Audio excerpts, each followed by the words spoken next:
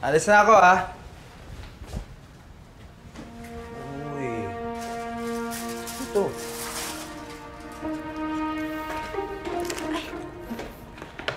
O ate, Ay nako, siguro naman masaya ka na dahil nagbigay na ako ng peace offering dyan sa mayabang nating kapitbahay. Murder ako sa nanay ni Betchay ng sa palabok, ha? Oh, ayan, edi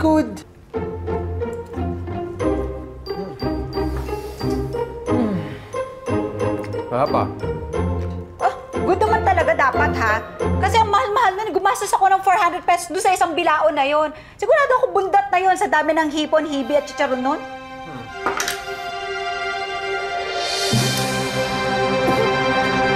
Sabi ko naman, na kahit taas tigas-tig itong ate ko, pusong krope ka pa din. Ay nako, sabi ko sa'yo talaga. Melody! Aya!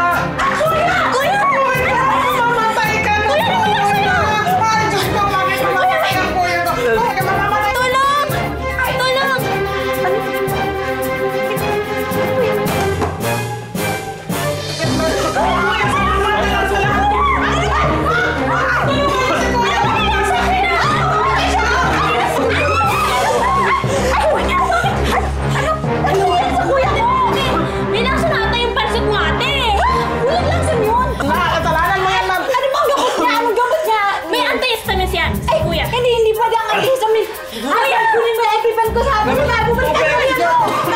Kuya, yan. Kuya! Kamusta ka naman?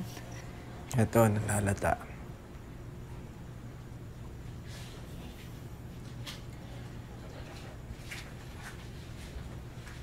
Hmm.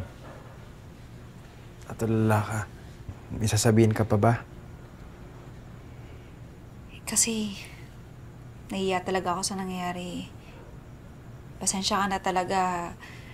Ibinigay ko lang naman talaga yung pansit kasi... Oo, alam ko naman na hindi mo ako gustong patayin. Nagkataon lang yun, di ba? Mali ko ba naman kasing galit ka sa hipo? Oo po.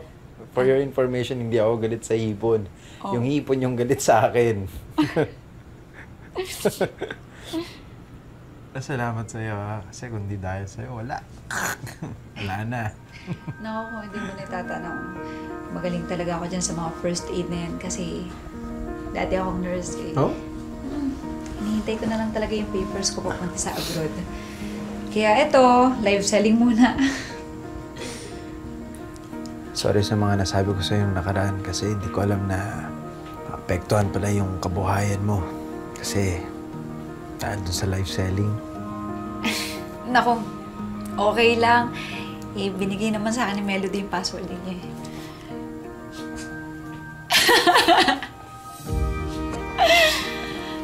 Ikaw na nga ba? Thank you. You're welcome.